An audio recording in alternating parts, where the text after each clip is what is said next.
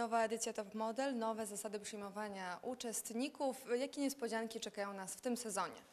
No właśnie kilku uczestników, którzy wymykają się zupełnie takim e, prawdziwym e, kategoriom modowym tak naprawdę i kryteriom.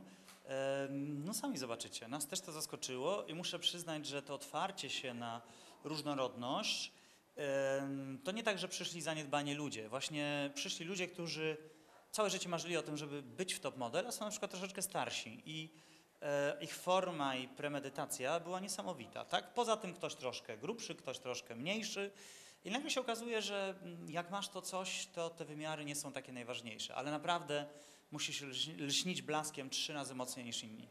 Daj nam jakieś przykłady takiej prawdziwej perełki. Przykład niższej osoby.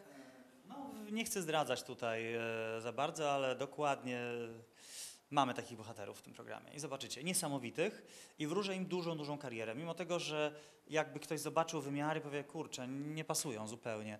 Ale jak zacznie gadać i zacznie pracować z tą osobą, to się po prostu od razu zakochuje. Zobacz, do tej pory, mimo że em, ten przepych związany z top model jest dosyć spory, nawet Joanna Krupa mówiła, że niekiedy top model, to polskie, ta polska edycja jest nawet e, ciekawsza niż ta amerykańska, albo Myślę, że ciekawa myślę, że jest dużo lepiej robiona, przede wszystkim naprawdę z większym rozmachem. A ta edycja szczególnie. Mamy e, nowego reżysera, który jest bardzo czuły na piękny obrazek i rzeczywiście nawet nas to zaskakuje, że patrzymy na pierwszy pokaz uczestników e, właściwie w drugim odcinku i jest takie wow, to nasz program, fajnie.